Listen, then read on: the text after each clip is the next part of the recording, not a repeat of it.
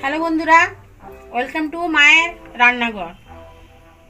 তো আজ আমার রান্নাঘরের রেসিপি হচ্ছে এগ কারি তো আমার রান্নাঘরে এই এগ কারি আগে আমার রান্নাঘরে দেওয়া আছে। তো এটা আমি অন্য পদ্ধতিতে বানাবো, কীরকম বানাবো সেটা ভিডিওতে আপনারা দেখে নিন।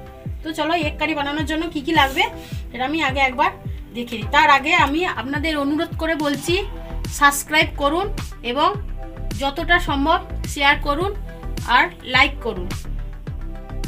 তো দেখো কি কি লাগবে সেটা দেখিয়ে দিচ্ছি।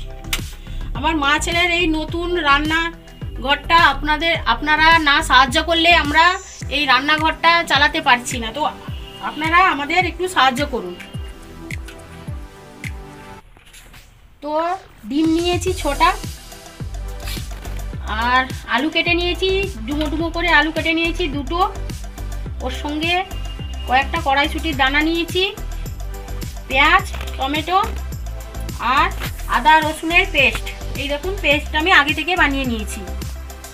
আর ধনে গুঁড়ো, জিরে গুঁড়ো, লঙ্কা গুঁড়ো, গরম মশলার গুঁড়ো, এগুলো তো আছে। আর সর্ষের তেলে রান্না করব। তো পুরো ভিডিও- ভিডিওটা দেখতে থাকুন কীভাবে রান্না করছি। তো চলো রান্নাটা করে নিই।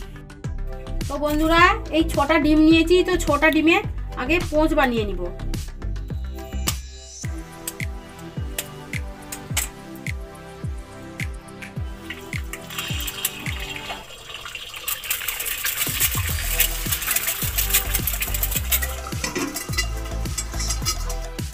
তো দেখুন বন্ধুরা, এইভাবে এইভাবে আমি আর পাঁচটাও বানিয়ে নিব। এইভাবে পোঁচ আমি আর পাঁচটা ডিমে বানিয়ে নিব তো বন্ধুরা দেখুন, এইভাবে ছটা ডিমকে আমি এইভাবে পোঁচ বানিয়ে নিয়েছি। এবার চলো মূল রান্নাটা করব। আলুগুলো ভেজে নিব।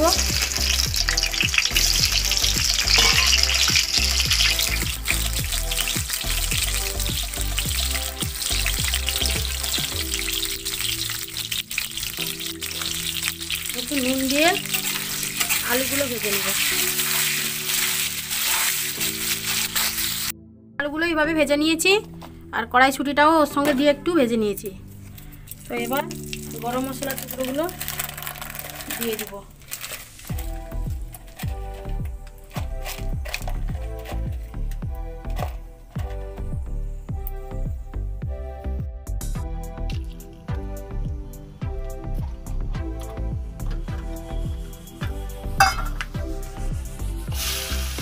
পেঁয়াজটা দিয়ে ভালো করে ভেজে নেব।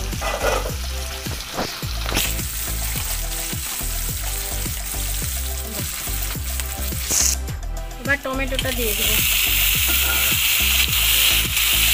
দিয়ে ভালোভাবে টমেটোটাকে তেলে ভালোভাবে কষিয়ে নেব। তো বন্ধুরা দেখুন, টমেটোটা নরম হয়ে এসছে। এবার আদা রসুনের পেস্টটা আমি দিয়ে দিব। আদা, রসুন আর একটু পেঁয়াজে পেস্ট করে নিয়েছিলাম। দিয়ে ভালোভাবে কষিয়ে নিব এটাকে। আঁচটা বাড়িয়ে কষিয়ে নিব ভালো নুনটা দিয়ে দিলাম। এবার সব মশলাগুলো একে একে আমি দিয়ে দিব। হলুদ গুঁড়ো, ছোটো চামচে দু চামচ।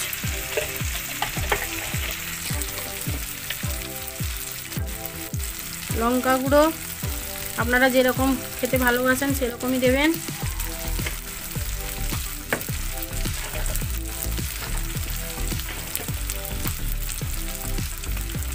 ধনে গুঁড়ো সবজির পরিমাণ হিসাবে দেবেন।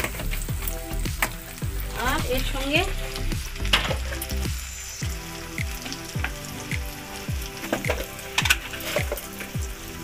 বাঙালির স্বাদ, সবজিতে স্বাদ কে বাড়ায়? চিনি।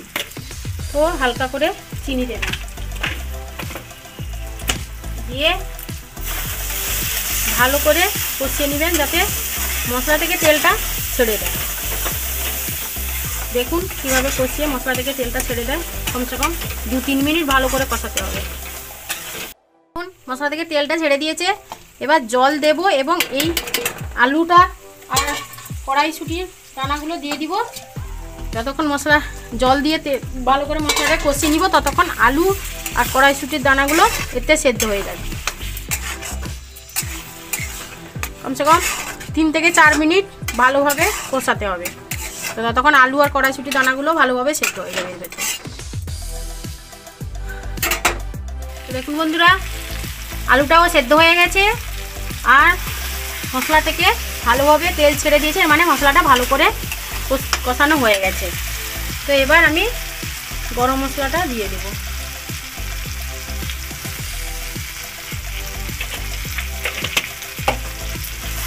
দিয়ে ভালোভাবে নেড়ে নেব।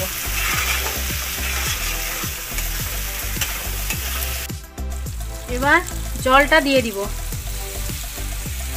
আলুটা সেদ্ধ হয়ে আছে, তো জল এতটা দেব না।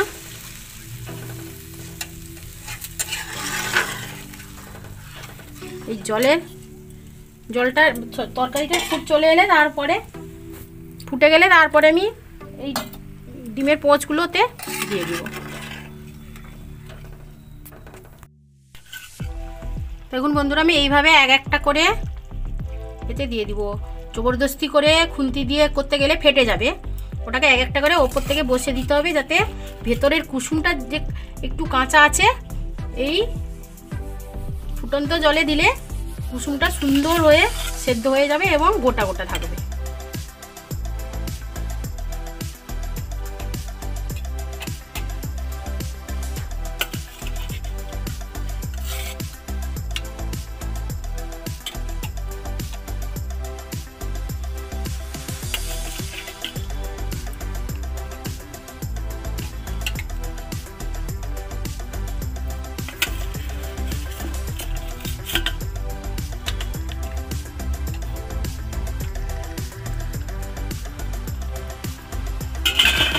এইভাবে আমি এক একটা করে দিয়ে দিয়েছি ভালোভাবে সাজিয়ে। ওপর থেকে আমি ধনে পাতা একটু ছড়িয়ে দিব। ওপর থেকে ধনে পাতা ছড়িয়ে দিয়ে দিয়ে দু তিন মিনিটের জন্য আমি সবজিটাকে ঢাকা দিয়ে দিব। বাস।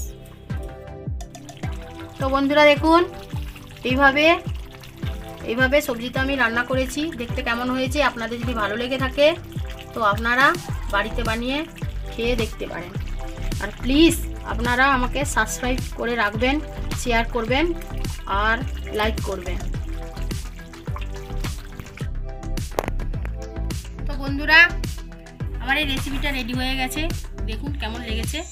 দেখলে তো বুঝতে পারবেন না, আপনারা বাড়িতে বানিয়ে খেয়ে দেখলে তবে গিয়ে বুঝতে পারবে যে কেমন লেগেছে। আর আমার চ্যানেলে আর একটা এগ কারি রেসিপি দেওয়া আছে, এটা ভিন্ন ধরনের মানে আলাদা করে দেখালাম।